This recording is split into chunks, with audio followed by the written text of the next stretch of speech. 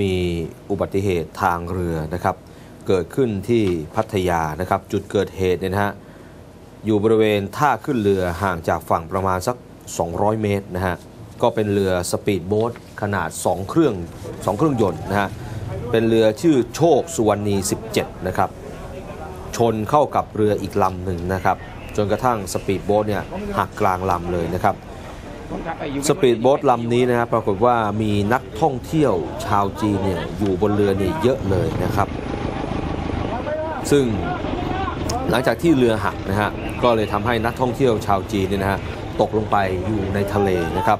แล้วก็มีคนได้รับบาดเจ็บ 8 คนที่สำคัญนะฮะมีคนเสียชีวิต 2 คนนะฮะชื่อนายต่งเฟ่ยหยือ แล้วก็นายตงเฟ่ยหยือเนี่ยถูกใบพัดเรือเฉือนเข้าที่ชายโครงซ้ายนะฮะ ส่วนอีกคนหนึ่งก็คือนายจางจางเต๋าถูกใบพัดเรือตัดที่ลำคอแล้วก็ที่ร่างกายนะครับ สอบปากคำนายกวงไฉนะฮะเป็นไกด์นำเที่ยวบอกว่า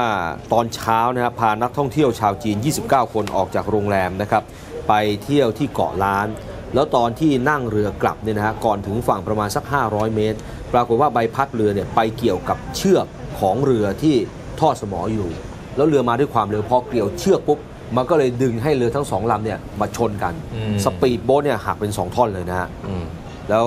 นักท่องเที่ยวก็เลยตกลงไปในทะเล เจอใบพัด เจอใบพัดนี่นะฮะโอ้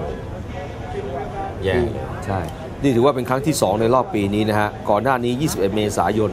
ก็มีเหตุการณ์สปีดโบ๊ทสองลำชนกันกลางทะเล ห่างจากเกาะตาแหวนเกาะล้านประมาณสัก 800 เมตรนะครับ อืมนี่เป็นนักท่องเที่ยวต่างชาติเขาไม่รู้ไงครับ คนไทยรู้เนี่ยก็ไม่ค่อยได้ใช้บริการสปีดโบ๊ทแล้วไงใช่ไหมฮะฉะนั้นสปีดโบ๊ทต้องต้องปรับด้านนี้นะฮะครับไม่งั้นเดี๋ยวจะแย่นะฮะ